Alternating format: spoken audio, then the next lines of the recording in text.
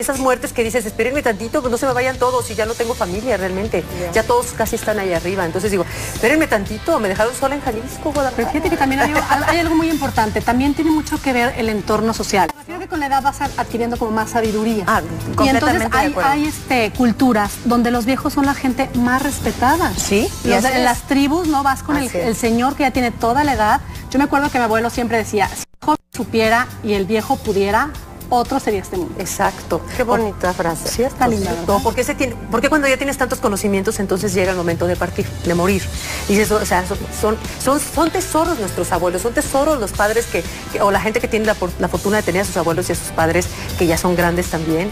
Insisto, eso está en la mente, pero que hay que, hay que reconocer que cuando ya están viejos no estorban sino que al contrario, ¿no? Ese es un punto bien Pero yo te voy a decir algo, cambiando un poquito a lo que decía hace ratito Ivette de, de la sociedad, ¿no? O sea, de que de repente yo creo que tenemos que envejecer con mucha dignidad y, estoy de acuerdo en que ahorita hay mujeres y hombres que tienen 40, 50, la edad que sea y se ven mucho mejor que a veces los que estamos más jóvenes y, me encanta esa actitud y me encanta esa energía que pueden transmitir y esas ganas de, de siempre estar jóvenes, me encanta, pero también, o sea, papás, ¿Qué hacen en un antro de niños de 20 años? O sea, en buena onda, qué pena salir y que esté tu papá en la mesa de lado pasando la bomba con sus amigos. No, o sea, está bien que salgan y se diviertan, pero hay lugares para cada persona. ¿Qué pasa con esos Forever Young? O sea, por favor. A ver, ¿y, y, si están de acuerdo todas las, las tres en eso?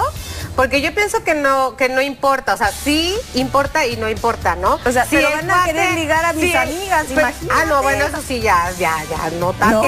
Eso sí ya no, eso sí ya no. No, no, no, pero sí igual puede ir a un lugar a veces y, yo creo que no se sienten a gusto en un lugar de, antros de chavitos de 20, un señor de 50. Digo, yo, los he visto muy contentos, la verdad, pasando la bomba y, de verdad es incómodo porque yo creo que hay que saber eh, hasta en eso exactamente ubicarse, ¿no? O sea, está bien que la pasen bien, que salgan, que se diviertan, pero hay lugares, o sea, no vas a donde van los chavitos de 20. Es que es parte de madurez, ¿no? Ah, yo, yo creo que hay una edad donde todos mis amigos decían, ay, ya el antro, qué flojera. ¿No? Empiezas a madurar y cuando estás aferrado a que no, el antro es mi vida y yo pertenezco ahí perfectamente a los 60 años, pues es parte de que no estás aceptando la edad. Que es una, que es una de, también uno de los temas importantes dentro de, la crisis de las décadas es, ¿realmente aceptas? ¿Qué, ¿Qué tanta aceptación hay de la edad? No de la edad cronológica, sino pues bueno, del entorno, de una situación social porque claro, o sea, si tú ya eres un padre de familia, yo creo que ahí ya nos vamos por los valores, no tanto por la edad. Porque si tú eres una familia razonable, normal, con valores, pues es obvio que el papá no va a estar yendo al antro donde va su hija a ligarse a tu amiga. Perdóname, pero eso ya es de valores, eso ya es de educación. Es, un, es de Pero de que las hay, las hay. Oigan, chicas, sí, y acá entre nos nuevamente, acá entre nos nuevamente. ¿Qué opinan? Porque estamos hablando de la edad, pero nos estamos enfocando mucho a todas nosotras, ¿verdad? Pero, ¿qué pasa con los hombres que tienen 40 y no no, les da esa fiebre de los 40 de que efectivamente se van a buscar jovencitas porque no puede ser que tenga 40, como yo voy a tener, que les pega mucho, dicen, ¿verdad? Que agarran el segundo, el famoso segundo aire, 40. Nadie. Nadie. Nadie. Son veinteañeros. Pero sí es cierto que es la edad que empiezan con el coche deportivo, con la moto, a ponerse, a vestirse como de los ochentas, que dices, no, por Bueno, tienen que buscar otra forma de ligar. Ya no pueden ligar por su cara linda, ¿no? O sea, ahora van a ligar por otro. Pues sí se ven. Pues, bueno, pues no perdón, sé, ¿eh? Yo, o sea, me refiero que sí, tienes razón. Algunas veces se pueden ver ridículos, eh, depende de la actitud que tomen. O sea, yo no me voy contra todos los caballeros, ni contra quienes se, quieran ver más joviales, pero sí hay que ubicarnos, nada más es eso. Pero es que ni siquiera checa tu plática. Yo no podría andar con alguien de 20, como de cougar, porque digo, ¿de qué me va a platicar?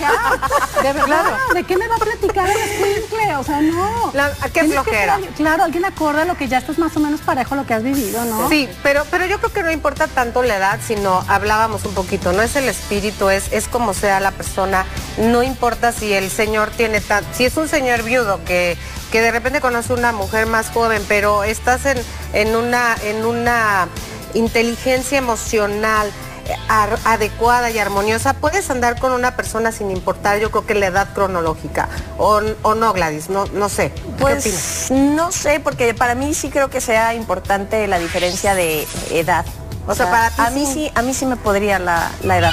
Y bueno, nosotros vamos a ir a un pequeño corte comercial, no se mueva porque al regresar seguimos con este tema que nos tiene así picadísimas y va a estar en una ex Timiriche aquí con nosotros platicándonos acerca de si ella ha tenido esta crisis de las décadas o no. No se mueva, esto es Acá Entre Nos.